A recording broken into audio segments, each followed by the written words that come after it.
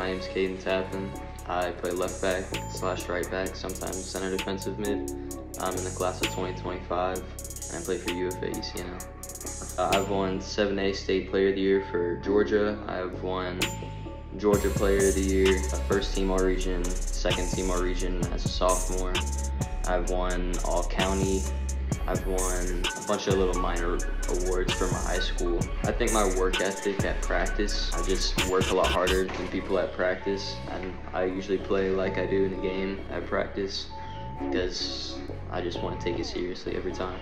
Just love being out there. Ever since I was growing up, just really liked watching it, loved playing it, and just stayed with me. So it's my sport now. My favorite player right now is his name is Barcola, and he plays for PSG in France. And he doesn't get much playing time, but he should be starting, in my opinion. And that's why I like him the most because coaches don't think he's good, but I think everybody else knows that he's one of the best in the world. He plays left mid, right mid, sometimes center mid. He can play any attacking position. I would say I play like uh, Trippier from Newcastle. He's just super composed, loves to attack, really good at one-on-one -on -one defending, and always trying to cross the ball.